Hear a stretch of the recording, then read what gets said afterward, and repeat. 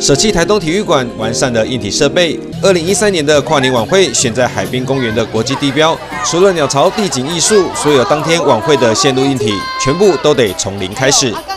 今年呃跨年是会从晚上的八点开始啊，到隔天的一点，隔天也就是一月一号的一点，还有结合哈雷机车的活动哦。说我们如果在一个标准的场地，这些灯光、音响、舞台的标准配备，这个就是照表操课。但是今天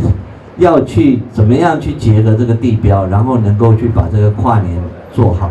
其实这个灯光的设计、摆法、布置，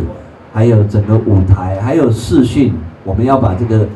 这个地标的这个球体怎么包起来啊？这个这个施工的一些技巧啊，跟跟吊点，其实对整个工程来讲是比较浩大的。二零一三年拥抱进台东的跨年晚会，主要场地选在鸟巢国际地标的展演舞台。晚会主持人为许杰辉及吴怡佩，而这次婉拒大陆高达三百多万元商演收入的张震岳，选择来到台东与民众一起跨年。搭配拥有清亮嗓音的天后万芳，正妹魔术师，再结合充满原民风格的演出团体，与往年相比之下，台东跨年晚会可以说是一年比一年来得更盛大。选在国际地标作为表演场地，除了可以容纳上万人之外，今年还设计热气球升空，再加上跨年倒数的高空烟火，多达三千多发，烟火秀的视觉范围宽幅高达一百公尺，面向太平洋，民众将可以享受到台东唯一前所未有的海滨烟火秀。